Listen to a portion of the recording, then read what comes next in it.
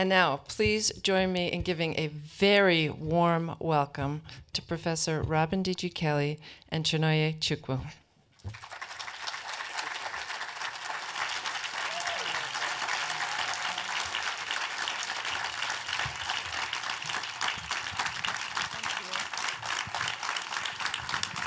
Thank you so much for being here tonight. Thank you. How are you all doing? Hello. Whew.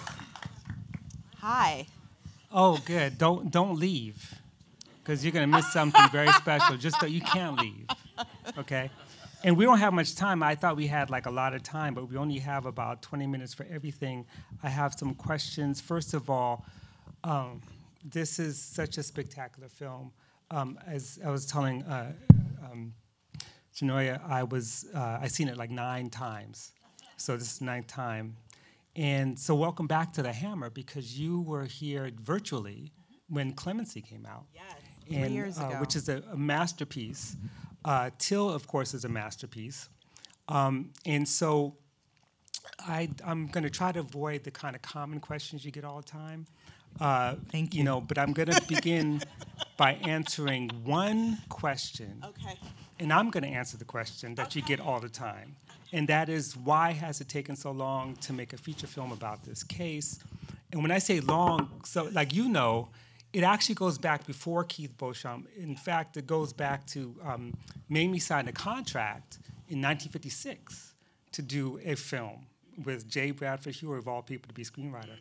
But the real reason why it took so long is because uh, Chinonye is the only director who could have made this film, right? And it's true.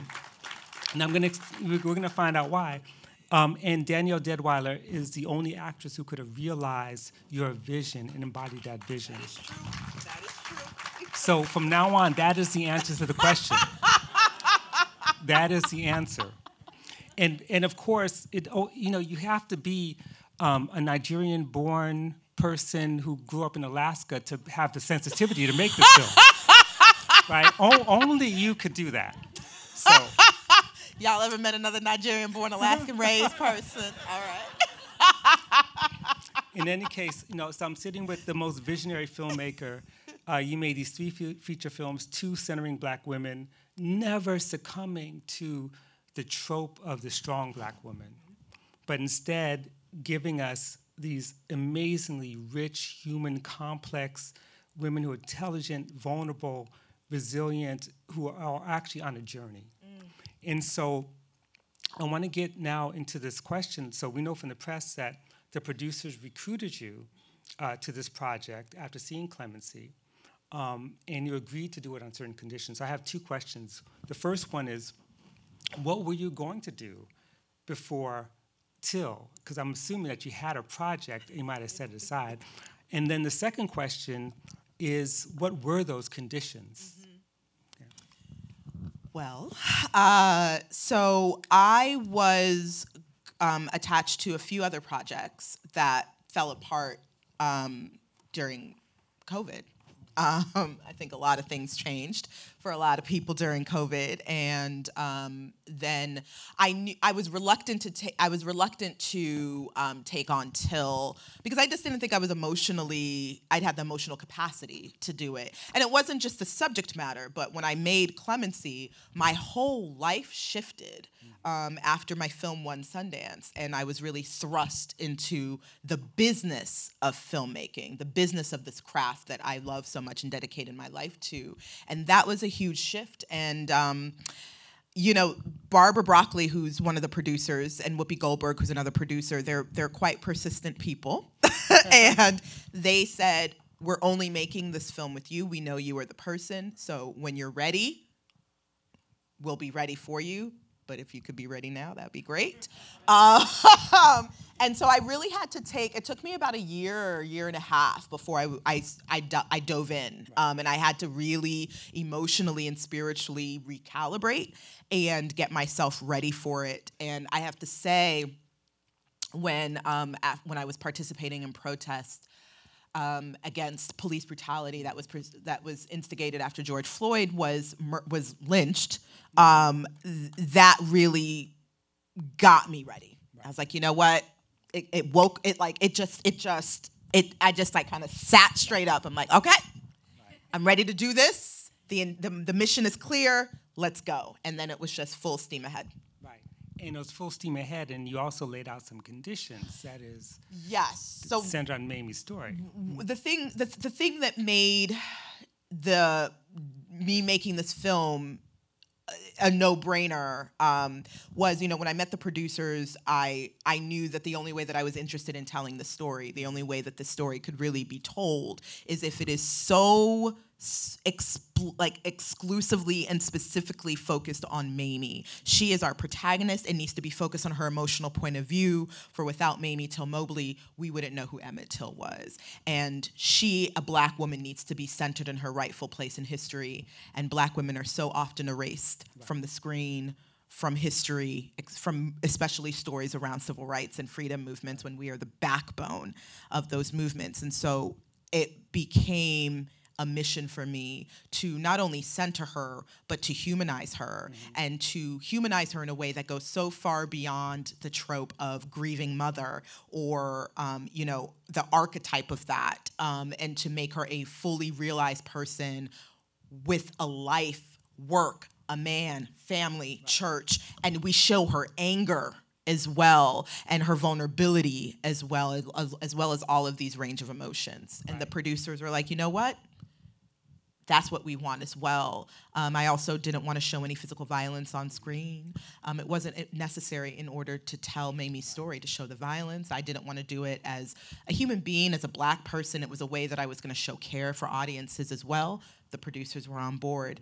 And working with the studio um, at Orion at MGM, I mean, they gave me full creative autonomy. The producers really gave me the space to, to tell this in an artful cinematic way that I thought it needed to be told in. And, and that's just a dream for a filmmaker to have that kind of freedom. Exactly. Were you given a script that you rewrote? I, d- I, d- I did do a rewrite, a, a rewrite on the script. So there was an existing script that was written years ago um, by um, uh, one of the two of the producers, Keith Beauchamp and Mike Reilly, and um, their producers were very open to a writer director coming on board and rewriting and making it their own. Right. Because, you know, knowing a little bit about the script as it circulated, I know your rewrites were significant. Yeah. Uh, and I Page one. Yeah. and you know, and in, in many ways, what's significant because you know you, t- we talk about um, not showing violence, and a lot of that has to do with protecting community, but a lot of it also has to do with the the the, uh, the sort of gravity of the story that it's on movement, it's on Mamie as a movement. Yeah. The, her her transformation, but not but actually let me back up. Not her transformation, but the way she transformed the movement by centering Yes. the fundamental question of what it means to be um, a mother Yes. and to lose a child, which is always central. And you know, so I want you to talk a little bit about what you changed in the script, what it meant to make it uh, centered on Mamie's story, both emotionally, politically, but also like visually, her point of view. Yeah, I mean, I I really believe as a storyteller um, that you can tell any story and have audiences connect to it if you really root it in humanity. If you make, uh, if you can use narrative and cinematic techniques to communicate the what the what each character is emotionally navigating, you know, and so that was always my focus and and that was one of the biggest things that I made sure to incorporate into the script.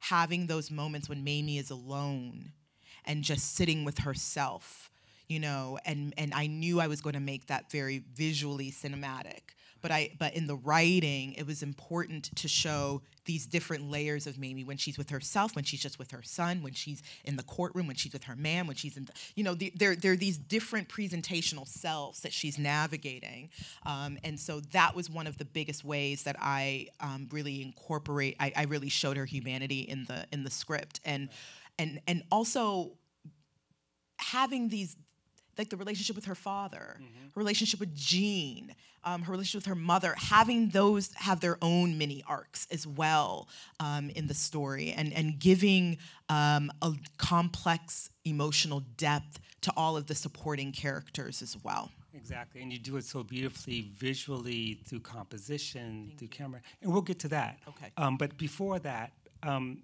let's talk about the goat, Danielle Detweiler. Danielle Deadwyler. Um, and I have, I have to say, full disclosure, people who know me uh, know that um, uh, un- unless Danielle's sister's in the room, there's no bigger fan than me. Because I was a fan of Danielle in 2004 when she was my student, walked into my graduate seminar. Um, I directed her, her master's, her, one of her master's theses. And as you know, she's a polymath. And I don't say that lightly. This is someone who uh, is a visual artist who's shown her work. She is a dancer. She, um, of course, um, cultural studies scholar. She's a brilliant poet who has a master's degree in poetry. Uh, she's going to be one of the few people to get both an Academy Award, a Pulitzer, and probably all kinds of things, right? Um, and she's a revolutionary, you know, and so I'm, I'm just curious. Obviously, you've shared in, in lots of interviews and, and other things what it was like to work with her. And I'd love to hear some of those stories. But specifically, I want to know from your vantage point as a director, what did she bring to the film that you hadn't envisaged in, in both writing uh, the script? Because I know everything you do is intentional, but then she brings all this experience and knowledge and art Yeah. uh, sensibility um, and politics. And I know she's read a lot because she read a lot in my class. Mhm, She is so smart. Right. Ooh, yes. No, I mean, she. I knew that she can hold a screen and command or command a screen without saying a word. I knew that she would be able to carry this film, but I mean, sh- the testimony scene. There were eight or nine other setups planned for that scene, but her coverage was the first thing that we shot, and I didn't know she could do that. And when she did that, all of those eight or nine other setups went away. and I looked at my cinematographer, Bobby Bukowski, and we're like, all right, we're gonna do this in uh, one take. Called the studio to make sure they don't snatch me up. And because I'm like, we're about to do a six minute, 45 second oneer um, in a studio film.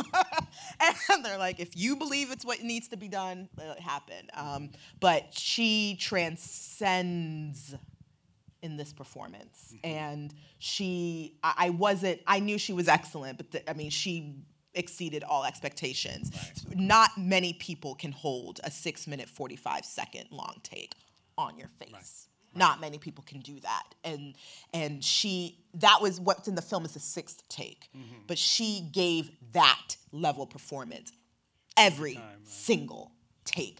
I wasn't expecting her to be that consistently excellent. And she gives something different each take. She's not like a robot, you know? And so, I mean, every take in the film was excellent. Excellent. And so that was a pleasant surprise. And she's so present and focused in the moment. Um, and one of the things, one of the many things I love about her is that we were really partners in this. Like I really felt like I had a creative partner, even to this day in this whole journey and the and the you know pu- publicity and press and awards campaigning and stuff like that. It's just we're still we still have our are in, are in sync and in rhythm. Yeah. Well, she's a perfect actor for you because one of the th- amazing, conve- you know, you remade filmmaking. Just so you know that. I mean, you know, you remade it, and this is one of the ways you re- you, you remade it. Remade it with Clemency and certainly with Till. But one of the conventions that I think you introduced in a very powerful way is focusing the camera on not the speaker, not the source of the words, but the source of the what protagonist or whatever Yeah. figure is trying to struggle with these Yes. questions, and even the scene with uh, with Mamie in the courtroom, that's her. But you hear the Yes. you hear the questions Yes. off off the frame. Uh, you, you the opening scene in the car, um, where Danielle's able to tell do a prelude of the entire film Yep. In about a minute and 45 Yep. seconds Yep. with her eyes. Yep. And you have the music, the moon glows, Yep. and that's there. Yep. Um, and there was one other thing that I just, oh, no, I wanted to talk a little bit about that. Um, uh, the way that the camera, uh, you know, the way that you have all these shots where there's no words, that's not in the script, right? There may be some direction, but this is something you're creating with her on the spot. And of course, you do it with clemency. Yeah. That scene where Alfre Woodard is off camera and you see, um, you know, Yeah, Anthony Aldis Hodge, Aldis Hodge, you know, hearing the protocols Yep. of, of what it means to be executed. And you see his face and the tear comes down. I mean, that I, I associate that with you. Um, so talk about that that particular convention, what it does, why it's a really important part of your filmmaking, and your inspiration. Well, what I've really been interrogating in my filmmaking these last two films is what are people's emotional experience to the physical action. So if we're thinking about the abduction scene until it's not about the physical abduction. Like that is, but what it is about is what is the emotional experience of preacher and his family to the abduction. I don't give a damn about jw and Bryant. Like i don't care. And even the music the note the biggest note i gave to my amazing composer abel um, because the first draft of the music the score for that scene it was very um, it was like thriller-y. And i was like no no no you're scoring to the physical action. We need to score to what preacher is feeling. We need to have because that is the ex- experience i wanted you all to have um, and and for you to feel that kind of um, complexity of emotions not just the pain and the sadness but when we hold on preacher's face when he's look like it's act like I that's how I believe that you can really have audiences across identities, across demographics, be able to connect to a scene or connect to a film. And so I, I really, um, I, I started to play with that in Clemency, you know, in those moments that you talked about. Um, at the end of Clemency, there's also a, there's a scene when Alfre Woodard, who's playing a warden, watching some, overseeing someone's execution in front of her. Instead of looking at the execution, we focus on her face throughout the entire course of the execution because that's what that's what matters. That's the human moment. And so, um, with Mamie's testimony. It's not about the lawyer, you know? It's not about cutting to all of these different reactions. Like, it is about Mamie's navigating that moment and the pressure mounting on her and as she, and the tension building inside of her and her emotional experience as she's navigating the interrogation. That's what i wanted you all to feel Right. you know? And so um or even or even you know when at the end of carolyn's damn testimony you know we we we remove focus. It's on me it's, it's like oh i was gonna curse sorry curse like a sailor. It's like you know f her. It's like it's it's it's about mamie's emotional experience dismissing her you know and and so i've really i'm i've really honed that um, because i think that's a much more visceral more more um, uh, uh, complicated Yeah, experience. It's also more truthful. It's more You know, truthful because that that is where the experience Yes. lay, Yes. and That's the real story. That's the real story, and that's why you're such a great storyteller. Thank you. You know, because telling stories is not about getting the right words. Right. It's about trying to understand the arc and the emotions. Exactly. Which you do beautifully. Thank you. Um, I know you have a heart out soon, so we're going to take some questions. Um, my other 25 questions, I'll, we'll, we'll talk about We later. can talk. We can have we'll some do- lunch oh, yeah, or yeah, dinner. Yeah, definitely. I look forward to that. It's like, oh, 'cause now I, the, the ushers have to. Um, I was told that I can't call on people, um, and so the ushers. Oh, um, oh where was, where's right here. Okay. Yes. Hey. Hello. Um, this hey, thanks. Hi. This is the second time I've seen this movie, and I'm thank you. I'm angrier now because, as people may know, the LAPD killed three people in the first three days of 2023. Um, I'm furious, so I'm going to try to be artic- articulate and crisp. Um, I have to say, uh, ending. I mean, it was it's an incredible film artistically, but also politically in forcing you to deal with the universality of the of the individual deaths, which obviously is what she had to go through. Is there's a celebration of her son all the way through, but also you're having to confront the you know, as again, as people may know, more uh, black people have been murdered by the police than were lynched in the whole time period that your film is telling the story of. And I have to pose a question from the revolutionary leader Bob Avakian, who's brought forward a strategy for an actual revolution in this country. He wrote a piece today, actually, about the history of lynching in this country, and he says he ends it with the question of how can any decent person not think we need to overthrow this system? And I would like to just put that question on the floor because I think we have to confront the unreformability of, uh, of the American empire and its refusal, its inability to, to uproot white supremacy. Yes. Thank you very much. Yeah. Um, I mean, where to begin? yeah. Yeah, I, I think you have a lot of people who would agree with that. The Yeah. question is how, how, how to do that, and I, I know you have an answer. I know I know you have an answer because I know we've talked lots of time, Andy.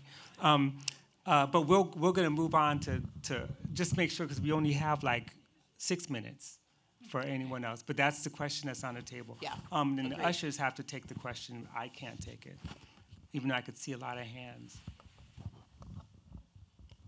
Go ahead. Hello. Question. Hi. Um, my question for you is, what was the intention of uh, and significance of mirrors in the film, and and what did you want it to, to say about the characters? What was your overall intention, especially for for Mammy's character? What what were you thinking when you were making those? What do uh, you choices? think I meant by it? You can't do that to me. no, no. I, I, I think you're you're definitely thinking about uh, the character's reflection, but also the the country's reflection on on uh on the problematic history that we have and and and how we treat black bodies. But I really want to know what you think. Thank you. Um, what I'll say, you know, I, I, I want, I, I'm more interested in people's interpretation. I will say it was very intentional about the use of mirrors, and it was something, it was a motif that my cinematographer and I found while shooting um, that we decided to play with and keep in the film. But I think people have had different interpretations of it, and I'm more interested in how people receive it than me telling you. I know, I know. there's the mirrors and there's the domestic spaces. Those those when you pull out the camera and we see these domestic spaces Yes. framed, that's very powerful in terms of what home means. Yes. You know. Yep. So. Thank I, you. Yep. I, I shouldn't. Be, I shouldn't say. I should stop talking. Um, okay, who's next? I know there's lots of hands, and we got um, we got five minutes. Thank you so much for this film. Um, I want to know more about you and your mother because we see the relationship with, you know, Mamie and Emmett. And I, I would like to know how your mother mother you and parent you to make you this wonderful screenwriter and filmmaker. Oh, thank you. And um, what are the qualities that you would like to share with the audience on how to nurture that for those in the audience that are parents or family members that want to create souls that tell stories like yours? Oh, thank you for that. Um. you know, uh, so I grew up. I grew up in Alaska. I grew up in a very traditional Nigerian household. Uh, I was raised by two Nigerian immigrants who are African as hell.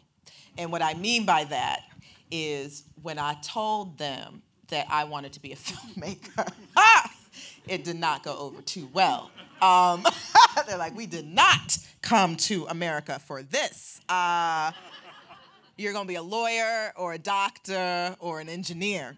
And if you're not, then you're gonna pay for film school on your own. And so, you know, it took some time for them to come around.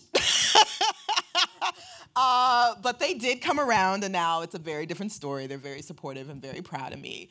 But I will say that one of the greatest qualities my parents passed on to me was this unapologetic, unabashed belief that I can do anything even when they like i remember when my first feature didn't get into sundance i was depressed i'm moping around in the bed. My father taps me on my shoulder. He's like get up. Don't you know you're a Chukwu?